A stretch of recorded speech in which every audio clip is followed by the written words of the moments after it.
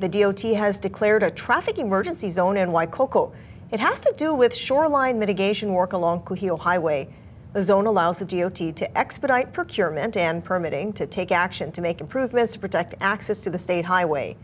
The emergency work will happen daily and is expected to take up to a month to complete.